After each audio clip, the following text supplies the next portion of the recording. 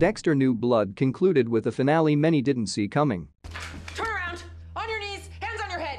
Despite fans' initial distaste for the way season 8 of Dexter ended, some enjoyed Dexter's Michael C. Hall original fate after seeing how Dexter New Blood played out. Here's what fans disliked most about the Dexter New Blood finale. You have no idea what you're doing!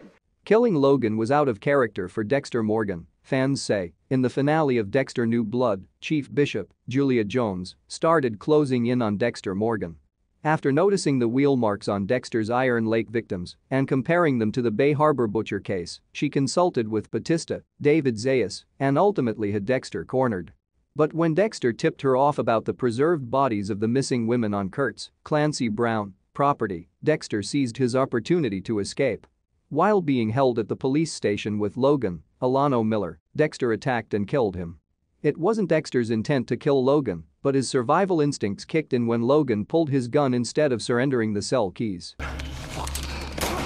Fans on Reddit were disappointed with Dexter's decision, calling it out of character. One thing that deeply bothers me about the finale is how easily Dexter decided to kill Logan, they said. I get he felt he needed to in order to reunite with Harrison, they compared Dexter's spur-of-the-moment decision-making to his careful contemplation about killing Doakes, Erik King, in Dexter Season 2. It really bothers me how they brought Dexter back after 10 years just to make him do stuff like this which is so out of character.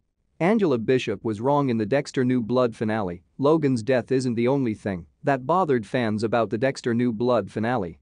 Fans also pointed out Angela's mistake in saying the deaths in Iron Lake were similar to the Bay Harbor butcher case.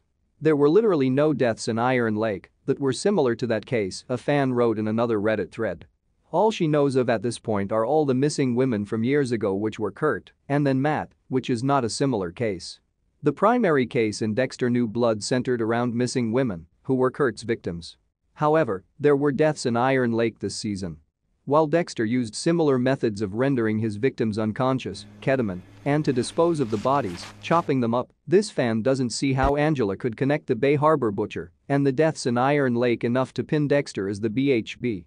Dexter New Blood ending has fans saying the season 8 conclusion was better, the finale of the original Dexter series was met with a lot of criticism. But now that fans have seen the finale of Dexter New Blood, they're taking back what they've said in the past because they're disappointed with Harrison, Jack Alcott, shooting and killing Dexter. Sorry for all the years we said you sucked, original ending, wrote a Reddit user, referencing the end of Dexter season 8 when he started a new life as a logger in Oregon. Single day you stayed away for 10 You always were the perfect ending and always will be in our hearts.